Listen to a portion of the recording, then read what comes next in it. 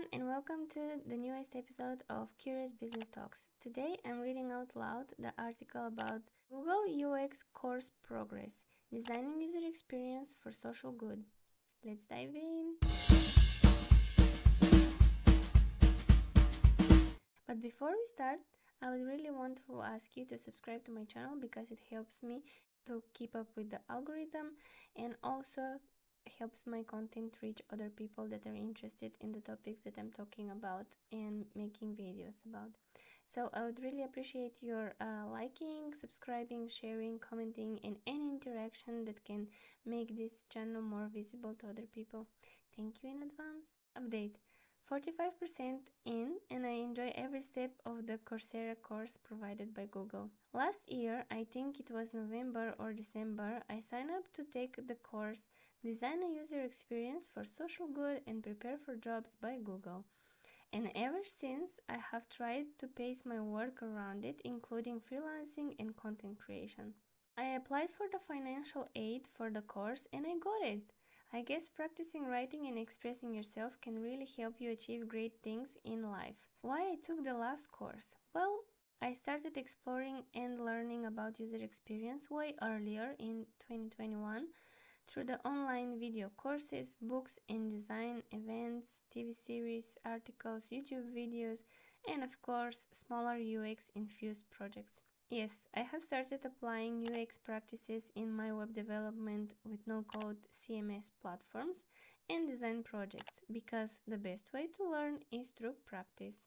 That's my niche, creating websites with UX attention. Slowly but surely, I would love to focus primarily on the UX design process and work on projects which require more research, testing, and why not even traveling. The course was more like a framework that I needed to complete a passion project that I started also earlier as soon as I quit my last job.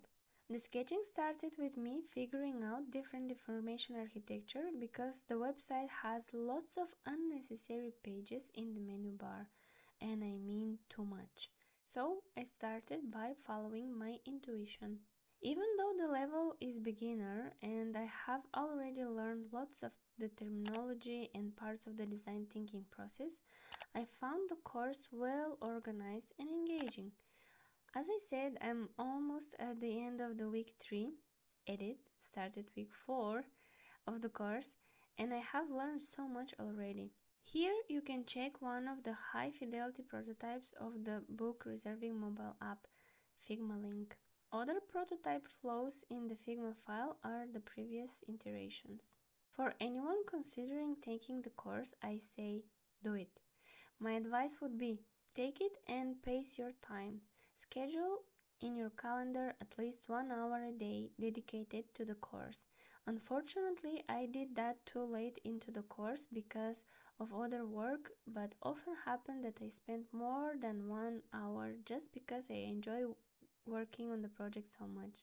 Do not repeat my mistake, plan ahead and think about what will you do during the time when you need to scout for your participants that will help you with your usability study later on. Search for your participants in advance to get a head start. Do your research.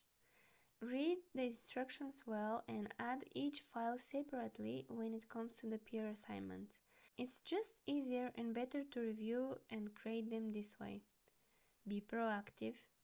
Record your process, make time lapses, take photos and videos of your sketches, and use all that experience for content creation. And yes, don't forget to enjoy the process. Thank you so much for listening and following and subscribing me on every and each platform that you have. Your comments and feedback, as always, keep me motivated to keep posting and create content. And I also would like to ask you to share, like, and subscribe once again so my content can reach more like minded people. Thank you so much, and I'm wishing you a really nice and peaceful week. Bye!